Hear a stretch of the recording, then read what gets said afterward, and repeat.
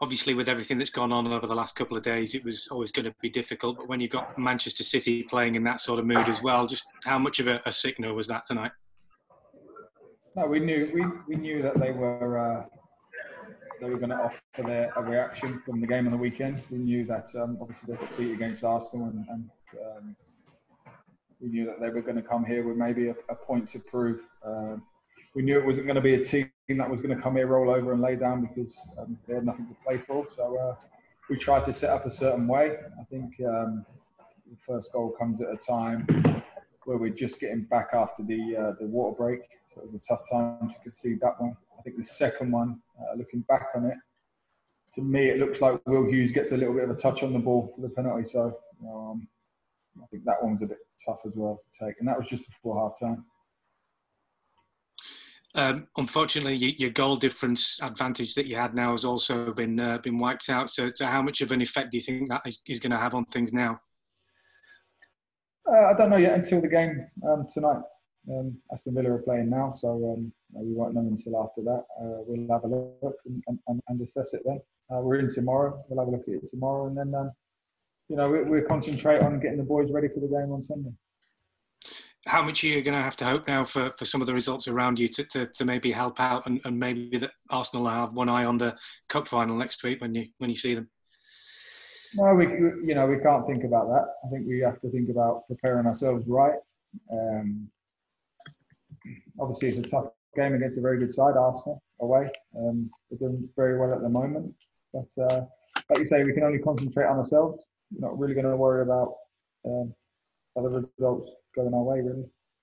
Were there some positives that you could see tonight? Things that you, you think you might be able to, to hold on to for that last game now? I mean, for us, we played, like I said, we played against a very, very good side. Um, we didn't want to open it up too early. We know that they're, they're very good on the counter attack. They've got some fantastic players, uh, fantastic manager. Um, we knew that if we were a little bit naive, then you know we, would get hurt and uh, we'd get punished on the counter attack. Like I say, the goals come at times where we think maybe we could have a little bit avoidable. But um, you know, it, it, they're a good side. They're a good side, um, and, and, we've got to go again. Thank you. Hayden, hello. It's it's Adam Leventhal. Yeah, bit echoey.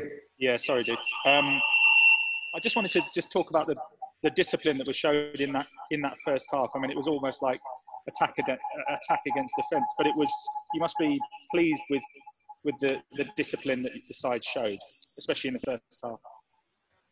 I mean, we, we knew, like I said before, they're they're a top side. Um, they're a very good team. We knew we had to be disciplined. We tried to set up a certain way, um, and we were gonna we were gonna get to certain areas in the uh, in the game where we if we needed to make changes, we could. Like I said, the, the, the first goal gives us a little bit of a setback, and the second one as well. Like I said before, I think we're a little bit um, unlucky with it. Um, and like you said, we, we did try to set up with a certain discipline, um, but they're a good side. They're a tough side, and sometimes you you have to look at the opposition and uh, hold your hands up.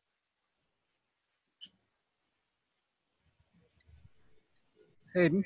It's uh, Ryan from the Watford Observer. Um, couldn't help but notice you had a bit of a, an in-depth chat with, with Pep on the pitch there after the game. What did he say to you? It was just generally, you know, um, just generally about the uh, the position and, and, and how he deals with it and stuff like that. It was it was nothing really in it. It was just you know, listen, good luck for the next game, um, and and and that was it. Hayden, it's um, Jack Rossiter from the Standard here. Um, I think Ben Foster said on TV that confidence is very low. How do you go about picking that up in such a short time and pulling everyone together for one last, one last push against Arsenal? I don't, I don't know if the confidence is very low. I know we got beat by a very good side today. I said to them in the dressing room, listen, lads, they're, they're a good, good side.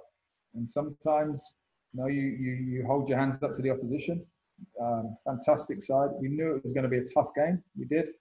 Um, but we've got to get ourselves ready for the next game.